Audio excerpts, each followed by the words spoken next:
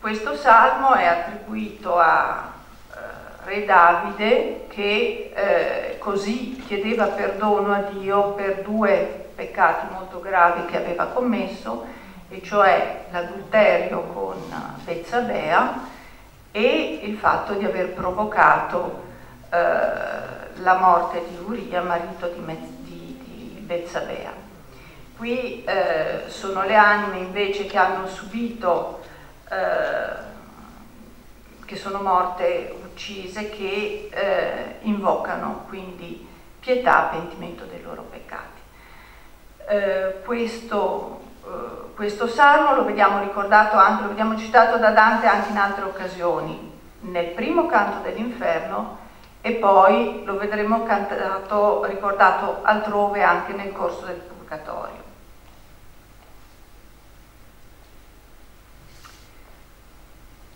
Dunque arriviamo al canto undicesimo. Col canto undicesimo siamo alla prima cornice, quella dei superbi. A questo punto si entra nel purgatorio vero e proprio e si comincia da quello che è il vizio più grave. Ricordiamo che qui sono, ci si deve purificare innanzitutto dai vizi, non tanto dai peccati. I peccati sono una conseguenza vizi.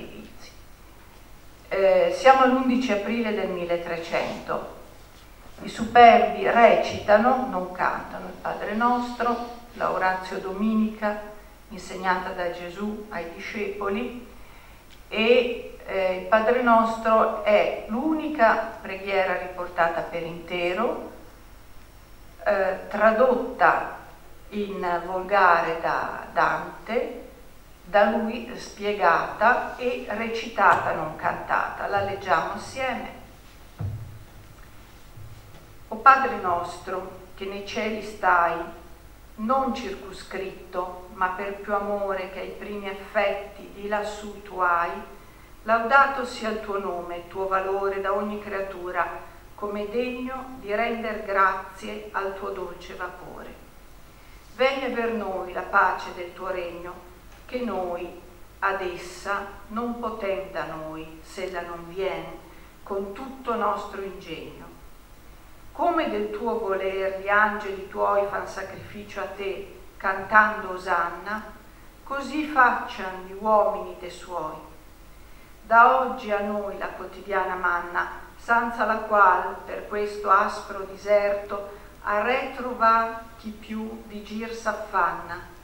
E come noi lo mal che aven sofferto perdoniamo a ciascuno, e tu perdona benigno e non guardarlo nostro merto, nostra virtù che di legger s'adona, non spermentar con l'antico avversario, ma libera da lui che si la sprona. Quest'ultima preghiera, Signor caro, già non si fa per noi, che non bisogna, ma per coloro che dietro a noi restaro. Quindi a ogni versetto del Padre nostro eh, Dante aggiunge una sua spiegazione, una sua interpretazione. L'ottava terzina dedicata al Padre nostro invece è rivolta a chi è ancora in vita, quindi sono le anime del purgatorio che con questi tre versi intercedono per coloro che sono ancora vivi.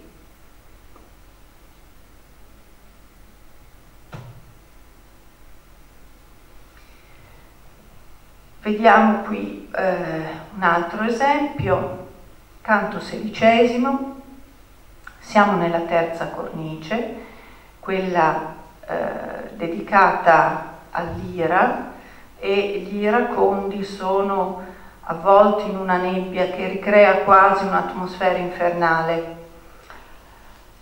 Eh, e mh, mm, Dante così scrive. Io sentia voci e ciascuna pareva pregar per pace e per misericordia l'agnel di Dio che le peccate leva. Pur agnus Dei eran le loro essordia, una parola in tutte era e un modo, sì che parea tra esse ogni concordia. lunedì 11 aprile del 1300. Allora, eh, questo tra l'altro è il cinquantesimo canto di tutta la commedia, siamo al centro eh, del poema e eh, qui le anime cantano l'Agnus Dei, cioè una preghiera eucaristica, quella che ancora subito prima della comunione noi eh, recitiamo durante la messa e eh, osserva eh, uno studioso, Corrado Bologna, dall'agnel di Dio che le peccate leva è un coro di concordia davvero universale, cantato in perfetta intonazione dalle anime che stanno espiando l'ira. Come eh, l'ira è stata fortemente divisiva in vita, così adesso, cantando concordi eh, Agnus Dei, sperimentano, le anime sperimentano la bellezza dell'unità, della solidarietà e della concordia.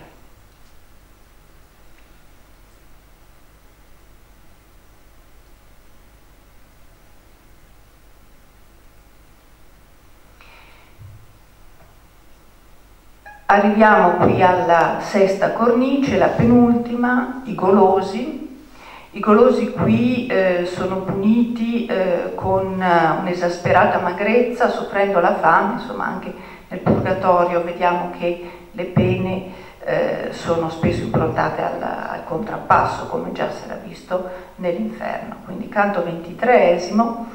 Ed ecco pianger e cantar su die labia mea domine, per modo tal che diletto ed oglia parturie siamo a martedì 12 aprile, dopo mezzogiorno. Ancora qui vediamo un'altra citazione sempre dal, dal Miserere, il Salmo 50 che abbiamo visto nel canto quinto e che troveremo ancora nel canto trentunesimo quando Matilda conduce Dante eh, attraverso il fiume Lete.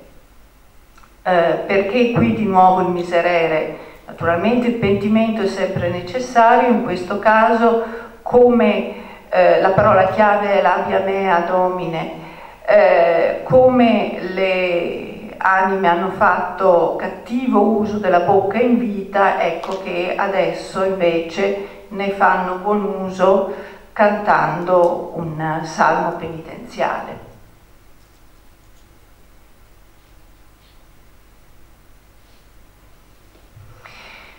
Ecco, vediamo dunque adesso l'ultimo momento del, del purgatorio, a questo punto dal canto ventisettesimo in poi si apre l'ultimo atto del percorso purgatoriale di, di Dante. Siamo al tramonto, notte, tramonto, notte alba tra il martedì 12 e mercoledì 13 aprile eh, verso il paradiso terrestre è il momento di passaggio. Dante deve varcare il limite del fuoco ed entrare effettivamente nel paradiso terrestre. Eh, passato il muro del fuoco ci sarà da una parte il congedo di Virgilio, che è il simbolo della ragione umana, a questo punto Dante non ha più bisogno di lui.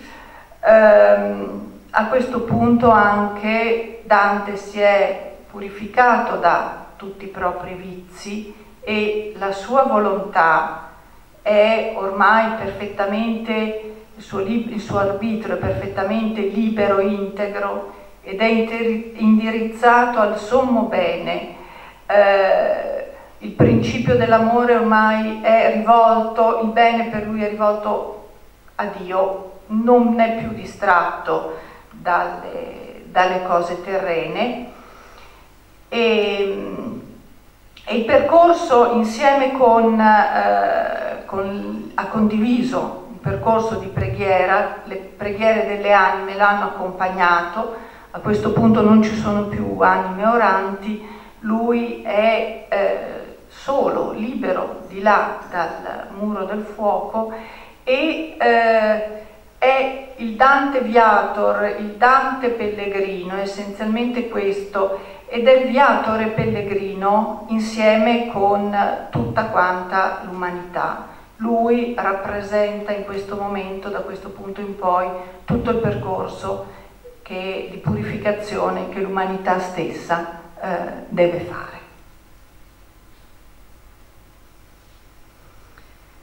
Ecco, qui brevemente una sintesi, adesso questa non la leggo, non la commento, delle, dei testi che eh, numerosissimi, una scelta di quelli che eh, in questo percorso eh, mi sono stati di particolare aiuto. Eh, ricordo in particolare la lettura d'Antis Romana, tutti i saggi eh, dedicati al, al, purgatorio, ci sono anche diverse tesi di laurea dedicate al, al purgatorio, alla Divina Commedia, eh, non solo da un punto di vista eh, squisitamente eh, letterario, ma eh, rivolte anche a un approfondimento eh, spirituale e religioso, del messaggio spirituale e religioso che questa vi dà. Grazie a tutti. Grazie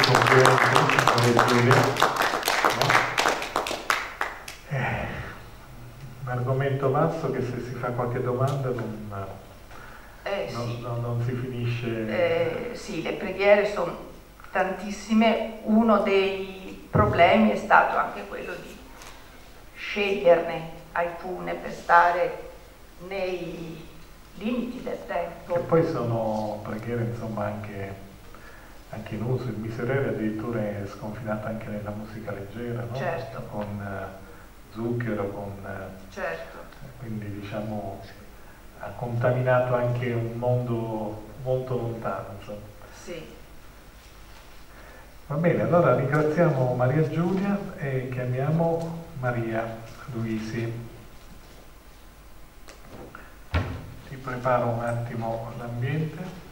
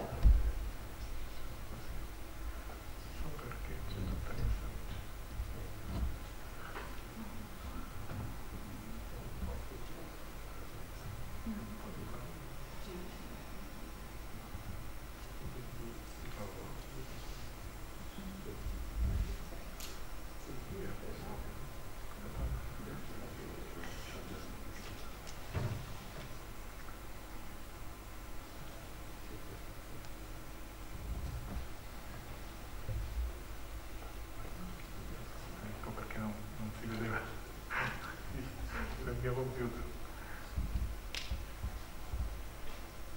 Ok. Ah, scusa. Tu vai con la cartella, giusto? Ci andiamo a condividerla con Zoom.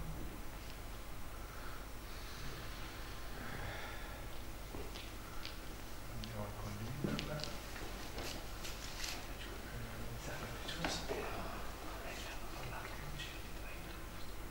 Si vede? Come Lo dobbiamo fare più grande. Adesso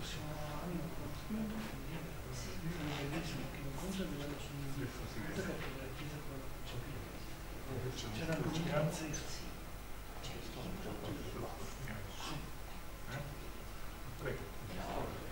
Allora, abbiamo la nostra professoressa Maria Luisi che abbiamo avuto già ospite l'anno scorso e quest'anno ha preso un argomento anche lei sul purgatorio partendo da un versetto particolare del purgatorio. Ce lo vuoi ricordare questo versetto che, scelto? Sì, il, poi ne parlerò appunto diffusamente, sono i versi proprio che fanno riferimento a una presenza angelica eh, con strumento musicale che accompagna il pellegrino proprio nel suo, nel suo passaggio appunto dal, dal, purgatorio di fatto al, al paradiso. Più vicina di An- ah, più vicina. Ancora Ok. di più? Ancora di più? Ecco. Ok. Grazie, sì, io ecco, intanto ringrazio anch'io il, il dottor Pace e gli organizzatori per, eh, per l'invito a partecipare. Appunto l'anno scorso eravamo qui anche eh, a parlare di un altro tema iconografico. Io appunto sono molto grata a Claudio per l'entusiasmo con cui anche accoglie queste mie eh, ricerche recenti, questo progetto in particolare che sto portando avanti. Lo dico perché eh, l'argomento di cui tratterò oggi, mh, cercando di essere il più sintetica possibile, ehm, è un argomento che si inquadra appunto in una ricerca che, che sto portando avanti da alcuni anni, ehm, legata proprio all'iconografia musicale nell'Umbria meridionale. Eh, l'anno scorso avevamo parlato di un, di un bel esempio di coro, di coro angelico eh, su cui è stato fatto un progetto insomma, che adesso finalmente eh, ecco, per colpa diciamo, del, del Covid ha avuto, non è stato diciamo, completato, nel senso che è tutto pronto, deve essere inaugurato, si tratta appunto di un progetto legato a questa raffigurazione eh, che si trova nella cattedrale di Narni. La palla E- del, del ghirlandaio? No, non è la, la palla di ghirlandaio ha già avuto la sua installazione, questo invece è il, il cupolino che Ah, è al di sopra della, della tomba nell'altare della, della confessione di San Giovenale. È appunto una scena molto singolare sulla quale è stato realizzato un